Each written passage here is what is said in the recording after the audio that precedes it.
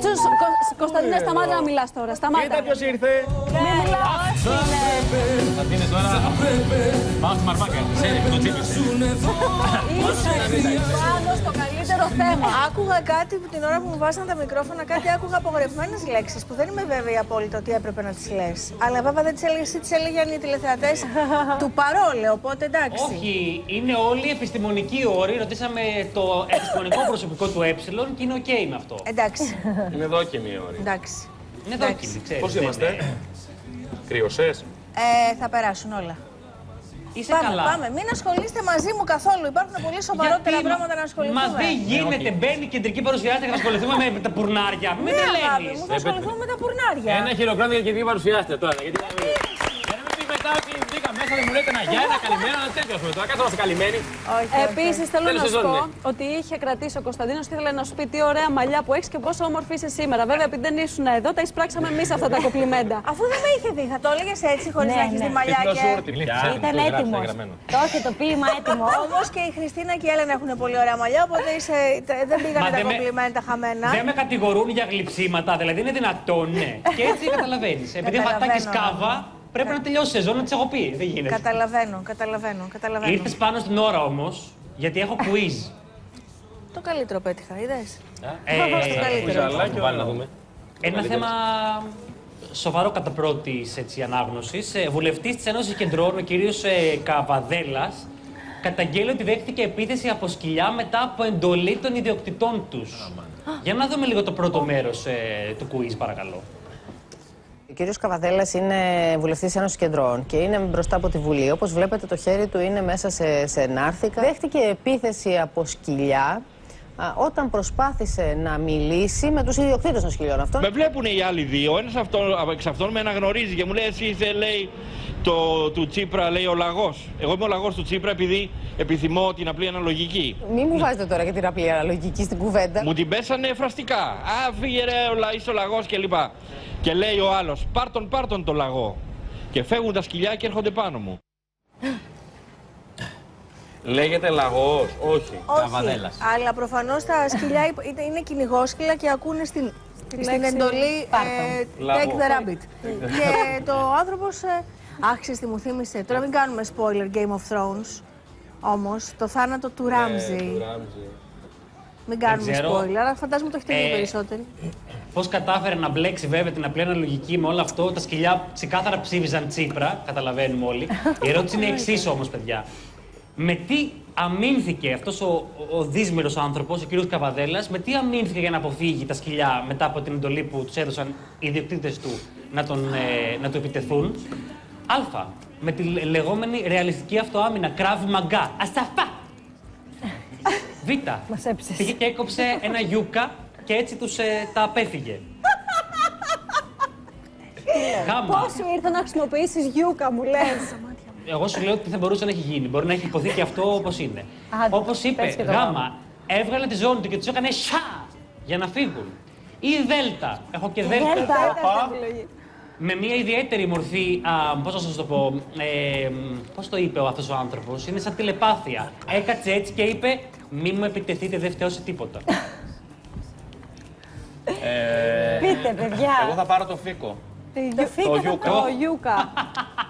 Εγώ θα πάω το βίλτα. γάμα. Και ένα καθρεφτάκι φέρε μου. Το γάμα, το σακτά. Όχι, αυτό το α. Όχι, το γάμα είναι Το που γάμα έβαλε τη ήταν η ζώνη ζώνη. και έκανε έτσι. Λοιπόν, εγώ θα Η πω ζώνη. το δέλτα, ότι προσευχήθηκε. Έκανε την προσευχή του. Θα τον φά- Γι' αυτό και δεν πέτυχε. Λοιπόν, εγώ θα πω το, το γιούκα. Το γιούκα. Το γιούκα. εσύ. Ε, Έλενα, είπες. Είπα το γάμα, ότι έβγαλε Το τη γάμα ζώνη. είπες, Τη ζώνη του. Άρα έχουμε, δι- έχουμε μία ζώνη, μία προσευχή, ένα φίκο. Α, δύο φίκους έχουμε. Δύο φίκους. Δύο φίκους. φίκους. Να- Δεν ξέρω αν θέλει κάποιος άλλος να απαντήσει. Να δούμε την επαλήθευση. Θέλετε, Θες δεν να ξέρω. τοποθετηθείς; Δεν άκουγα την ερώτηση. Λοιπόν, ε, με ποιο τρόπο αμήνθηκε ο Μεσιέ. Λοιπόν, Ε, τα κλώτησε, ελπίζω όχι. όχι. Οι επιλογές που έχεις είναι οι εξής. Πολεμικές τέχνες Α. Ε, ε, ξερίζωσε ένα γιούκα και το πήρε στο κατόπι. Β. Γ. Έβγαλε τη ζώνη του και το έκανε σασά.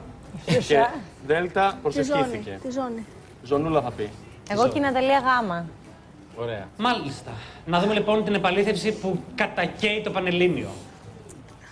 Εκεί μπροστά είχε ένα κήπο, είχε κάτι γιούκα κλπ. Ε, έβγαλα ένα φυτό και αμήνθηκα. Ε, Μου σκίσαν το παντελόνι, μου δαγκώσαν το πόδι. Μισό Δωρές όμως- λεπτάκι, μισό λεπτάκι, κύριε Γα- Παρακαλώ. Πήρατε το γιούκα για να, να βγάλετε Ναι, τα, ναι. τα Τι σκυλιά να από τη κάνω; μέση; Ναι, βεβαίως. Το Γιούκα. Το οποίο Γιούκα έχει ένα κορμό ε, 7-8 εκατοστά βέβαια. πάχος.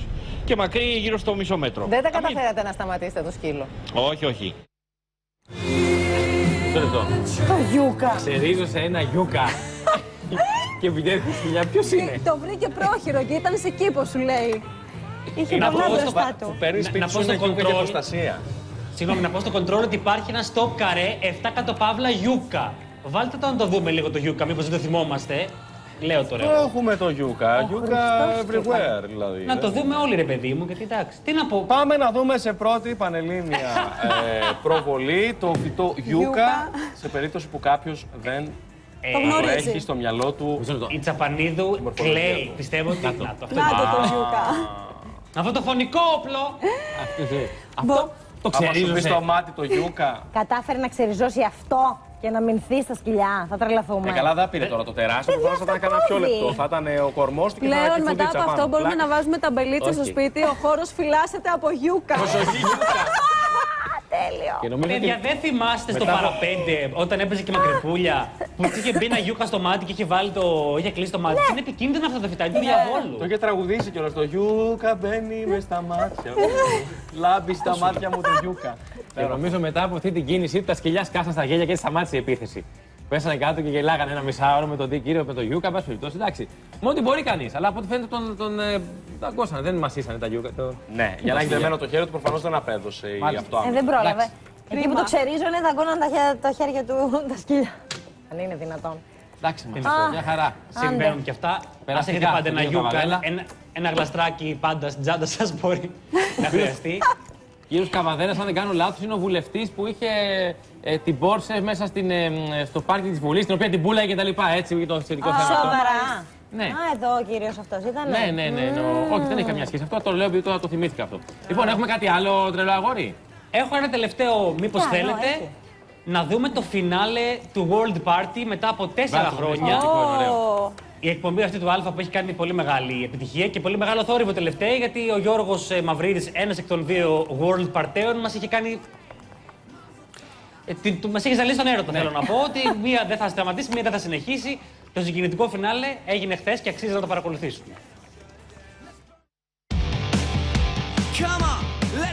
Με ένα επεισόδιο γεμάτο συγκίνηση και χαρά, ο Σάκης Τανιμανίδης, ο Γιώργος Μαυρίδης και η ομάδα του World Party αποχαιρέτησαν τους τηλεθεατές του Α την Τετάρτη το βράδυ, ρίχνοντας με αυτόν τον τρόπο τίτλους τέλους σε μια εκπομπή που αγαπήθηκε πολύ από το τηλεοπτικό κοινό. Τέσσερα χρόνια ταξίδια.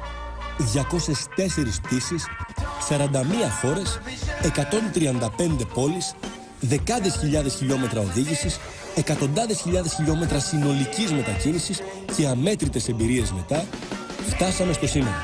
Φτάσαμε στην ολοκλήρωση ενός κύκλου. Και όπως είναι φυσικό, κάθε κύκλος κλείνει κάποια στιγμή. Το αχτύπητο δίδυμο ετοίμασε για τους θαυμαστές της εκπομπής ένα backstage επεισόδιο με ιστορίες που δεν προβλήθηκαν ποτέ στον τηλεοπτικό φακό, αλλά και με ιστορίες που αγαπήθηκαν ιδιαίτερα. Νιώθω τόσο τυχερός που είχα μαζί μου τον καλύτερο συμπαρουσιαστή του πλανήτη για μένα, τον καλύτερο κάμεραμαν του κόσμου και τον καλύτερο δε, άλλο κάμεραμαν και ελικοπτεράκια του πλανήτη που τυχαίνει να είναι και η αδελφική μου φίλη. Αυτή όμως η εμπειρία των χρόνων αυτών έχει κάνει τα συναισθήματά μου για αυτούς τους ανθρώπους ακόμα πιο δυνατά. Είναι τρεις άνθρωποι για τους οποίους θα έδινα τη ζωή μου και ελπίζω αυτή την αδελφική φιλία να μπορέσω να την τιμήσω και να την κρατήσω για όλη μου τη ζωή. Μετά από τρία χρόνια, οι δύο λάτρε της αδρεναλίνης, ο Σάκης και ο Γιώργος, αποφάσισαν ότι η εκπομπή έκανε τον κύκλο της και πλέον ετοιμάζονται να πλέψουν σε νέα νερά. Γύρισαν όλο τον κόσμο, έζησαν πρωτόγνωρες και ρηψοκίνδυνες εμπειρίες, ένιωσαν έντονες συγκινήσεις και σίγουρα μας απέδειξαν ότι με καλή παρέα, όπου και να είσαι, περνάς καλά. Φοράει το κεφάλι σου.